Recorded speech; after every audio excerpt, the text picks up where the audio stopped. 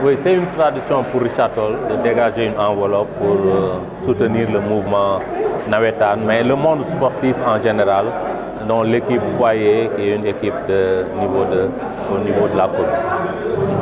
Donc l'enveloppe c'est à combien? Oui, euh, c'est une enveloppe de 20 millions pour le monde sportif et 2 millions pour le monde culturel et euh, avec euh, associé à une finale de la Coupe du Maire la semaine prochaine pour euh, fêter avec la jeunesse de Richard Toll. Mais en fait, tu sais, il y a des dépenses déjà obligatoires. Il faut déjà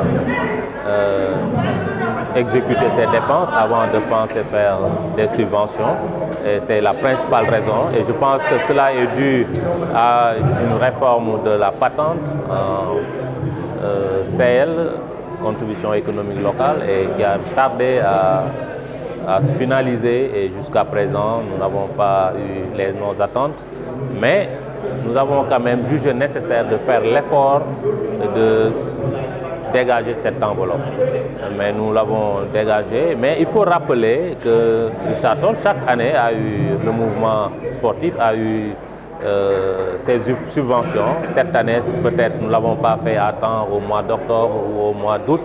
Et nous avons eu trois ou quatre mois. Mais je pense que l'essentiel, c'est de retenir que nous avons exécuté euh, cette subvention. Oui, mais je pense que le mouvement Nawetan Lodekab, euh, les interzones de Toll, la commission sportive euh, à une belle fête au niveau de la commune. Et je pense que ça a toujours été le cas. Et je pense que cette année aussi, ce sera pareil.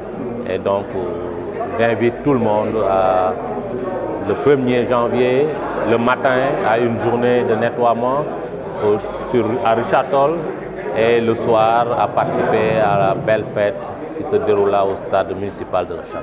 Oui, nous avons beaucoup de projets, mais ce qu'il faut retenir d'abord, c'est euh, nous sommes en construction d'une grande salle que j'appelle une salle culturelle et de citoyenneté aussi, mais aussi euh, d'une enveloppe de presque 120 millions. Et là, le, le, le, les travaux ont démarré, mais aussi nous avons prévu cette année d'agrandir le stade de Toll.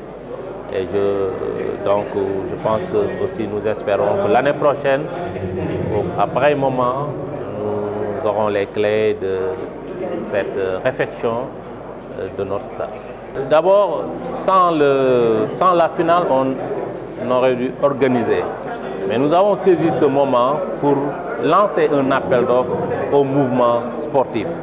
Parce que je pense qu'au-delà du sport, il y a cet élan de citoyenneté que nous devons nous tous développer au niveau de nos quartiers, de nos résidences. Et je pense que c'est pourquoi nous avons, et ils l'ont bien compris, et je pense qu'ils vont répondre favorablement, et c'est pour mieux nous aider ensemble dans les quartiers de campement, de Khoume, de nettoyer de cette journée de Clean Day, que ça soit une réussite totale, comme le veut le président de la République.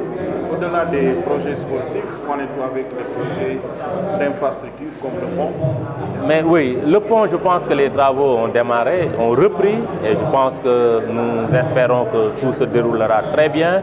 Tous nos grands projets à part euh, sont en phase de continuer. Le, je dis le, la salle multiculturelle, la salle de fête, le pont Sermat, et nous avons terminé l'école de Nyangé.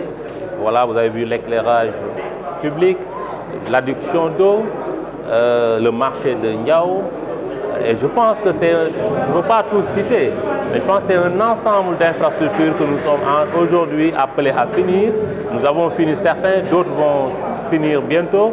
Et je pense que c'est ça, nous parlons peu, mais nous faisons beaucoup. Et je pense que c'est ça peut-être notre marque, notre différence par rapport à d'autres.